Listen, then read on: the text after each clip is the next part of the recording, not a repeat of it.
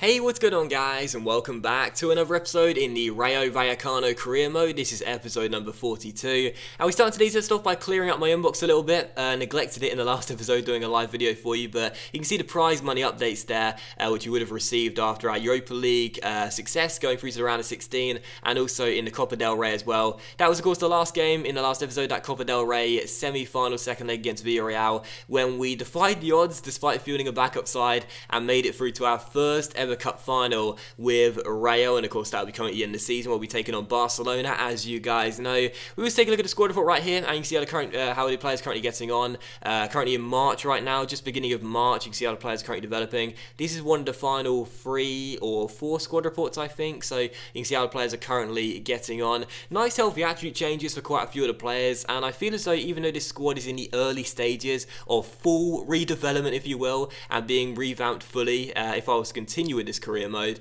it's still looking pretty decent. And uh, you can see I've laid down the groundwork with this Rayo side for the future. And it is a bit disappointing we never get to fully develop it like we do with many other teams in my career mode series on YouTube over the past five years. But either way, we've uh, we, have got a solid squad here, and I really really like it indeed. Uh, look at the league table as well. 12 games to go. We are of course one point behind our rivals Real Madrid right now, and of course we do have a bit of head-to-head -head record against them as well, which is worth noting after our draw against them in the last episode, which was of course our last league game, that 1-1 draw, which in all honesty I think we could have won that game. But uh, anyway, in the Copa del Rey, as you can see, confirmation will face Barcelona in the final, and in the Europa League as well, we've been drawn against the German side Wolfsburg in the round of 16. We beat Besiktas over two legs in the round of 32 stage. Now we'll take on Wolfsburg, first leg at the Estadio de Vallecas, and you'll see that tie as well, the first leg at least, in today's episode as well. But for the first game of today's episode then, we do indeed take on Real Betis here at the Estadio de Vallecas, coming on the back of that win against Villarreal in the Copa del Rey semi-final second leg. But of course, our last league game was the 1-1 draw against Real Madrid. So coming into this one, hoping to return to winning ways in La Liga, and the first chance would fall 36 minutes in. Baena won us the ball back here, and eventually it came towards Ceballos. He tried to roll it through towards Baena, and how about this for a stroke of luck? We took the lead eight minutes before the break. Baena scored once again, and this season has been getting forward more and more and being amongst the goals than last year, compared to last year, I should say. And we got very lucky here because the number three for Betis tried to clear the ball, and with the wet turf, with the rain pouring down, he slipped over, which allowed our skipper Baena to run onto the ball and slot it in at the near post. So a real stroke of luck there that gave us the lead in what was a very uneventful uh, uh, first half. So 1-0 to Rayo, but in the second half, he just four minutes after the restart, Betis had their first real chance of the game. This strike by Leandro Damiao going just wide the post and behind for a goal kick. But in the 59th minute, a good chance for us to build on our lead and make it 2-0. Moreno sprints down the left-hand side here at a uh, former Liverpool left back, cuts inside, crosses to the far post, picks out his fullback colleague. Really, ever see fullbacks linking up uh, in uh, in FIFA for me at least. Picks out Ivan Lopez with his volley, went wide of the post. With 10 minutes to go there, Real Betis had one late chance to try and get themselves back on level terms, and they would as well. Petros headed in a cross to the far post, ran to the cameraman, and made it 1-1 with the away side not performing too well this season, getting themselves a surprise equaliser to send the travelling fans balmy. So 1-1 and we were failing to deal with the long balls Betis kept on putting into the box. Eventually it was chipped in towards the far post. I think it was Mera, just couldn't get there, or possibly a Matt. And as you can see, Petros won the header and made it 1-1. And that was how the game would finish as well. Final score, Rayo 1, Real Betis 1. And a very, very disappointing draw. Now two games without a win in La Liga as well. And when you want to stay in the title race, when you are considered underdogs as well, these are the games where simply put, we have to win. Betis did not do much in this game other than keep hold of the ball. He had a couple of chances, yes, including that late one, but our home form has been the reason why we've had such a successful season so far.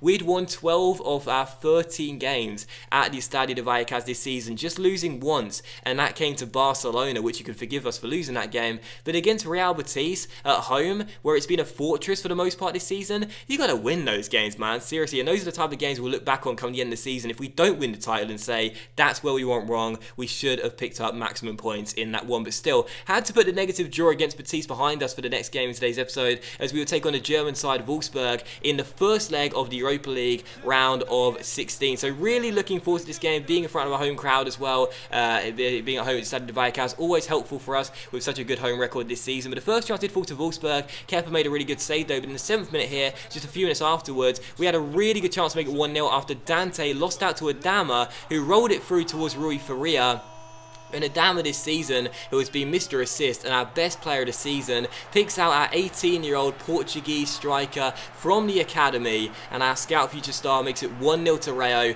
and scores a really big goal. Really, really poor from Dante, giving the ball away. Adama wins it back, and when Adama's got the ball and a teammate in space, you know he's going to find him, considering how he's been playing for us in his debut year for us. A nice assist there and a good finish by Faria made it 1-0 to Rayo in an important game. And in the 23rd minute, how about this as well. We were one goal up and could have made it 2-0 after Faria, our goal scorer, played through Perez. He was running through one-on-one. Naldo, the skipper of Wolfsburg, took down Perez and it is no surprise that inside the area with a clear goal scoring opportunity, Naldo prevented it by taking him down and didn't win the ball. He left the referee little alternative and the Brazilian centre half was sent off as well. So Perez wins a penalty. I got taken down by Naldo there. Definite clear penalty. He's the last man. It's a clear goal scoring opportunity. Simply put, you know, you're running a risk of getting a red card if you're going to do something like that. And the referee had little alternative, I feel. So Naldo sent off, Wolfsburg down to 10 men, and a chance for us from the spot to double our lead and make it 2-0 to Rayo. Perez won the penalty. He would stand up to take it as well. He's usually deadly from this situation, and he is in this game as well. Right into the top corner,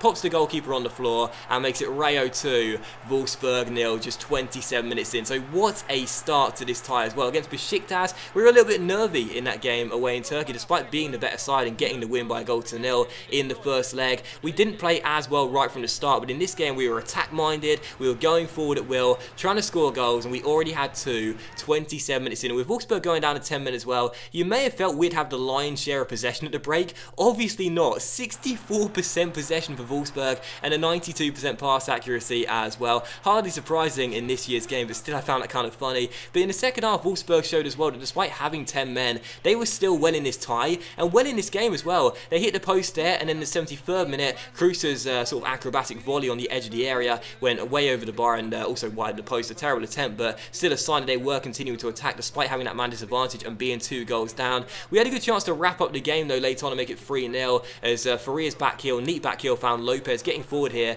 The right back was denied by a good save by Benaglio and eventually Wolfsburg got the ball clear. But it was how the game was finished though. Final score Rayo 2, Wolfsburg nil. A very solid win for us this one, but I must say, with Wolfsburg going down to 10 men inside the first 30 minutes and us having a two goal lead, I really feel as though we should have built on that in this game and possibly killed the tie off. Because don't get me wrong, with Naldo suspended for the second leg, with us not conceding the away goal and being two goals up, there's no doubt, I'm not going to deny it, we are favourites to go through to the quarterfinals now, but let's be real here, we should have finished this game off and finished a tie off really with the attacking prowess we have and also having the man advantage. So in the end, just like the Real Madrid game in the last episode, I'm a little bit disappointed we didn't score more goals when we probably should have done, but uh, still, a comfortable win in the first leg anyway. We'll go to the second leg knowing that if we score an away goal, the tie will certainly be over, and we do indeed have the best chance of progressing to the quarterfinals in the Europa League. And you'll see the second leg as well in the next episode. But still, for the third and final game of today's episode here, we will take on Espanyol here at the Estadio de Vallecas once again as we hope to get ourselves back to winning ways in La Liga after two games without one. First chance fell to Espanyol, but as you can see, that header was well saved by Kepa. But in the 17th minute, a good chance for us to take the lead. Camarasa receives the ball, plays it through towards Perez. He scored on Thursday night, and he scores here as well to make it Rayo 1, Espanyol nil. We know this season Perez has not been as good as last year. He has had the two-month injury to deal with as well. But as I said before, he is always a reliable source of goals, and I think he always will be. We saw that in my Racing Santander save last season. It's the same in this Rayo save as well. He knows how to put the ball in the back of the net. So really good investment for us, Perez. One of our best ever signings in this series, and he does indeed give us the lead here in the first half. So good ball by Camarasa too. A really neat through ball by one of our best signings of the season, really, and a good finish by Perez too. So 1-0 to Rayo. And in the 34th minute, good chance for, uh, for us to double our lead here. Caballero found Hermoso. Quick little ball inside towards Ceballos, and a neat little through ball first time found Echeverria. And how about this as well? Our right back starting ahead of Ivan Lopez, who needed a rest I was a little bit worried about that because Lopez is a great fullback, but Echeverria gets his first goal for the club and proves me right I was right to start him. A really, really neat through ball by Ceballos without taking a first touch. He found the right back who found himself inside the area and he did find the back of the net as well. So 2-0 to Rayo, two first half goals, just like on Thursday night, and an unlikely source for this one as well. Echeverria getting the goal and making it 2-0 to Rayo. So 2-0 was the score at halftime, as you could see. I felt we were on top in the first half too. Espanyol did have one chance early on, we were the better side. In the second half as well, just past the hour mark, our first chance fell the second half here.